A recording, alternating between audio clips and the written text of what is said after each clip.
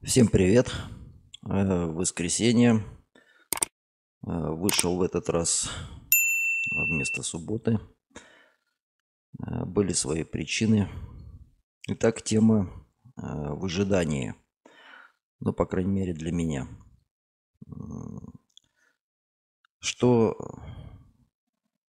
для меня интересного э, произошло и что произошло интересного на рынке? А, На рынке продолжают отчитываться компании, вернее, практически уже все отчитались с той или иной степенью, скажем, ска- э, скажем так, ожиданий. А, Не все отчитались хорошо, а, многие просели, а некоторые даже отчитались хорошо и все равно просели. Ну, об этом поговорим чуть попозже.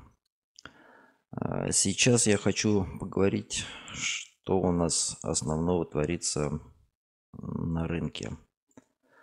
А, Посмотрим, начнем с S&P, с S&P 500. А, Пока что у нас все идет в рамках восходящего канала. Рынок, правда, колбасит, потому что ФРС никак не может определиться, когда же ему все-таки поднять э, ставку. Потом непонятно все-таки опять на сколько он ее будет поднимать. То ли на 0,25, то ли на 0,5. То ли это будет 6 повышений, то 7 повышений. Уже говорят, что будет 9 повышений. А, Но при всем при, эм, э, при этом надо понимать, что даже если они поднимут и на 1%, а, при инфляции м, 7,5 на сегодняшний день, то все равно эффективная ставка останется отрицательная. И сможет ли это как-то воздействовать на рынок, я думаю, что вряд ли. А, Как я уже не раз говорил, что самое, наверное, будет страшное для рынка, а, это когда начнут полностью останавливать печатный станок и изымать ликвидность с рынка. Вот тогда уже начнется настоящее падение. Сейчас же рынок, в принципе, как вот колбасился в пределах там 12%, так, в принципе, и, и продолжает. Ничего пока серьезного нету. А, Поэтому пока что я никаких э, таких действий не предпринимаю, ничего не покупаю. Все-таки немножко замер в ожидании. Посмотрим, а, что будет в марте. Скорее всего, первое повышение будет в марте, и, скорее всего, в марте все-таки озвучат, э, будут э, деньги выдергивать с рынка или не будут. Пока что, пока что ждем и наблюдаем. Последняя неделя закрылась в минусе, но опять уперлась э, в канал. Пока даже не подошли к 4200 к уровню. Хотя, если взять э, RCI, а, то явно, что мы еще не допадали. То есть нам бы еще вот немножко вот сюда надо залезть. А, Естественно, это может где-то к 4000 приблизиться. Вопрос, будет пробит этот канал или нет. Если будет, то в принципе можем увидеть падение и к 4000, можем даже падение увидеть и более глубже, но это вряд ли. А, Скорее всего, максимально мы просядем, конечно, до 4000, но опять же, пока непонятно. Можем мы отсюда уйти опять, а, как прогнозирует тот же Goldman Sachs, там, который, правда, сейчас, по-моему, снизил свои ожидания до 4900 пунктов. а, Но пока посмотрим. Пока еще есть у нас уровень 4800, который тоже не был пробит. Пока что вот э, в рамках вот этого вот канала следим. А, Следим, смотрим, что будет. А, Что из интересного? Отчиталась компания Nvidia. Сейчас, секунду.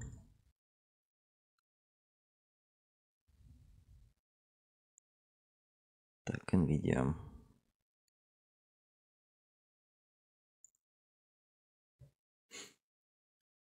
Казалось бы, у компании отчет получился на славу. Прогнозы аналитиков компании превысила. Продажи видеокарт растут. Доходы от дата-центров тоже увеличиваются. Ведь теперь все, все помешались на метавселенных, так что спрос на вычислительные мощности NVIDIA точно гарантированы.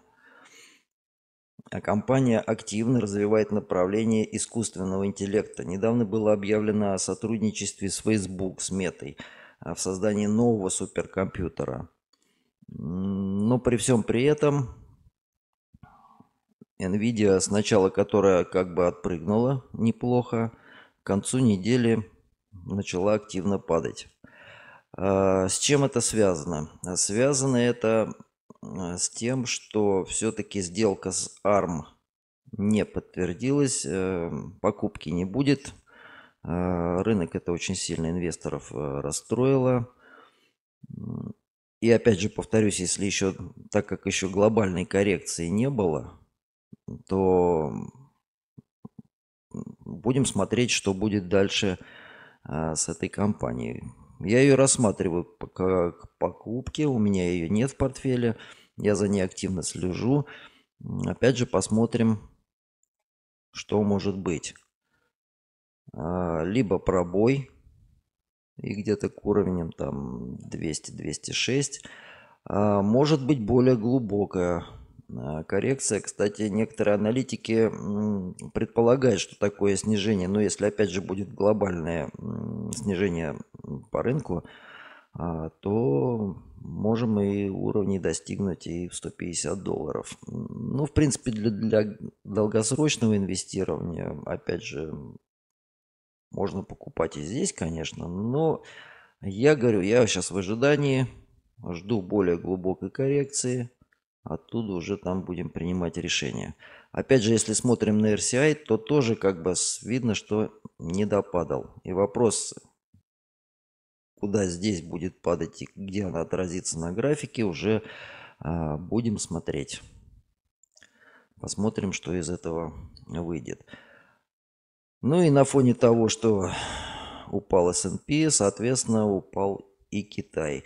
А, при всем при том, что вроде бы как бы и ликвидность потихонечку начинает вливать, но все-таки, так как падает э, американский рынок, то, соответственно, падает и китайский, который, который в начале недели тоже очень хорошо стрельнул, опять подпрыгнул почти к 40 долларам, ну, в конце недели все практически отыграл. И который в неделю э, мы находимся уже в боковике.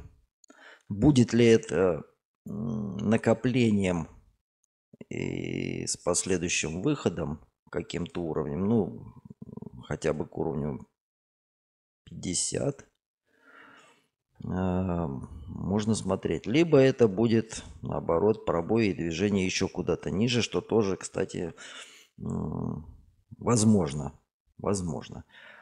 По RCI, в принципе, как бы мы на очередном дне, возможно, может быть, опять отыграем к уровню там 30 и дальше уже куда-то опять к 40, а дальше, дальше вопрос. Дальше вопрос неизвестность. Будем смотреть. А, на этом фоне, значит, опять же, выходят хорошие новости и по Байду, и по Алибабе. А, что касается Байду. Байду запускает сервис роботакси Apollo Go а, в центр города Шэньчжэнь. Сервисная платформа Байду Apollo Go запустила пробную эксплуатацию в районе Наньшань а, в Шэньчжэне предоставляя автономные услуги роботакси пассажирам Шайджене.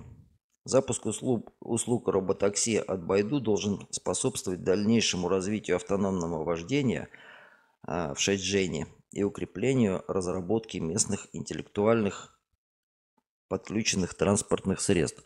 А, то есть Байду продолжает свое движение к автопилотированию, то опять же должно способствовать, казалось бы, опять бы росту Но так как э, весь рынок падает и китайский находится в боковике, то, соответственно, и а, акции компании тоже также находятся в боковике вот в этого канала, из которого мы никак не выйдем.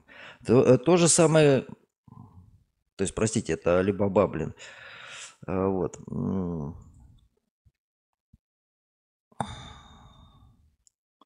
Перепутал немножко.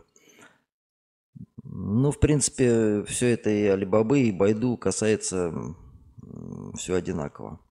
Вот где-то болтаемся в середине, и куда рванем, непонятно.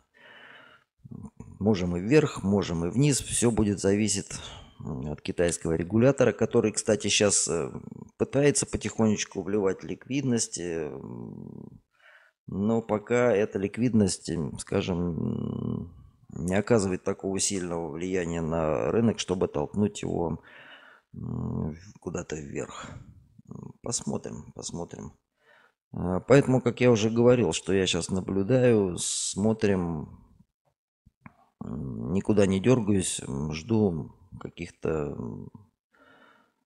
движений. Там уже будем смотреть. Вот. Что касается Алибабы, все-таки я аж перепутал, график был алибабовский. Вот, уж извиняюсь. Алибаба, в принципе, тоже не стоит на месте. И в данном случае вот Алибаба заявил о запуске а, модели прямой онлайн а, торговли в дополнение к платформам Taobao и Tmail на фоне усиления конкуренции и слабых потребительских расходов. То есть выходит немножко на принципиально новый уровень, пытается развиваться, то опять же из этого получится. Кстати, по-моему, Алибаба, если мне память не изменяет, где-то назначила отчет над, на 24 февраля. И вот посмотрим, чем этот отчет, что нам этот отчет покажет. И посмотрим уже, что будут предпринимать инвесторы на фоне этого отчета. Поэтому пока, пока вот эти неопределенности. Пока не знаю. Не знаю. А, что касается моей спекуляции. Сейчас, секундочку. Хотелось бы посмотреть.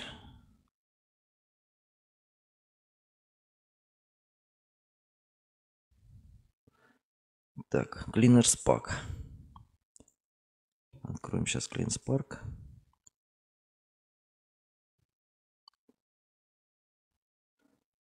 Так, компания CleanSpark, как я уже говорил, она занимается майнингом биткоина. У нее своя э, ферма, своя электростанция, а, поэтому ей немножко проще майнить все это дело практически.